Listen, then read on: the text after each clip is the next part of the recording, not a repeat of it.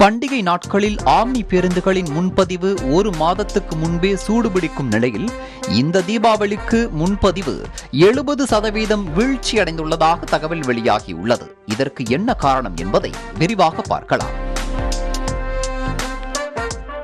Corona பாதிப்பால் கடந்த இரண்டு ஆண்டுகளாக ஆம்னி பேருந்து உரிமையாளர்கள் மற்றும் தொழிலாளர்கள் பெரும் பாதிப்பை சந்தித்து வருகின்றனர். பேருந்துகளை இயக்க முடியாமல் சிறிய டிராவல்ஸ் நிறுவனங்கள் மூடி வரும் நிலையில் இந்த ஆண்டு தீபாவளி பண்டிகைக்கான முன்பதிவும் பெரும் வீழ்ச்சி ஏற்பட்டுள்ளதாக தகவல் வெளியாகியுள்ளது.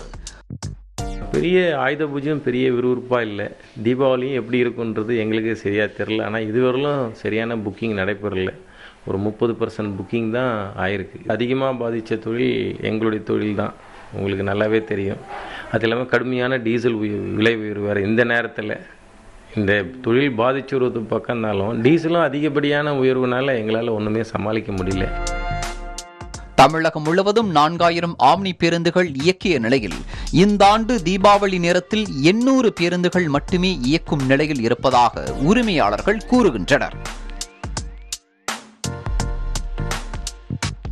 இப்போ எல்லா பஸ்ஸும் பஸ்ஸு ஓனர் போய் நிப்பாட்டிட்டாங்க. டீசல் நூற்றி ரெண்டு ரூபா விற்கிது டீசல் கேட்ட எட்நூறுவா ஆயிரரூவா போட்டால் தான் சீட்டு கட்டுப்படி ஆகும்.